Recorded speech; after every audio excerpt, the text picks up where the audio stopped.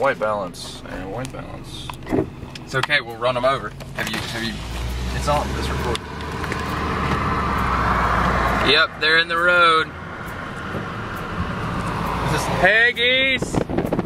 We um, we, me and Jim here, Jim and me. Hi. And Kayla. She didn't want to be on film, but now she, She waved.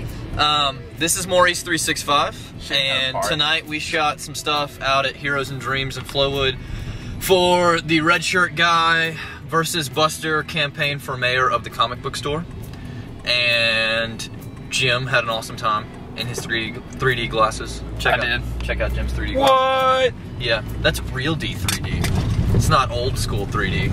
That means that nothing in the real world is 3D right now for him. But it doesn't work with blue red technology like they have on the comic books. No, it doesn't. Anyway, um, I, I don't know. As we go around this curve. We're driving around in a car. Driving around. Well, I think they notice that when they see steering wheel. no, maybe we're just sitting in a car and faking it. oh, we're faking it. So you know we're not faking it. I don't know if you can see anything because it's probably not auto-focusing on anything. Nope. Anyway. La di da. So, Kayla, if you were gonna do somebody's body paint for like a football game or something, Mm-hmm. what, would you just pick that up at Walmart? Yeah, definitely. Okay, 'cause- so then we're going to Walmart. So why'd you get this way? I don't know, because it was driving. We can drive and go to Walmart at the same time. Touche. Isn't that how we get to Walmart? Today.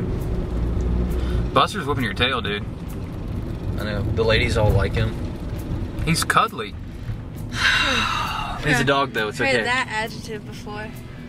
Dogs are dogs are allowed to be cuddly. They are, unlike girls. Um, all right, for driving purposes, we're gonna turn the camera off and we're gonna come back later because Josh can't really see. That sounded like it broke something. Like right now. At least Jim's not doing this to you. At least you have two girls participating. hey, that is a good point. Two high girls at that. Yeah. Come, I'm gonna go home and and Jeremy's gonna be like, "You're not getting in my shower like that, right? Yep. Go out in the backyard. I'm gonna hose you off." Jeremy's not even gonna be awake. Organize the hair.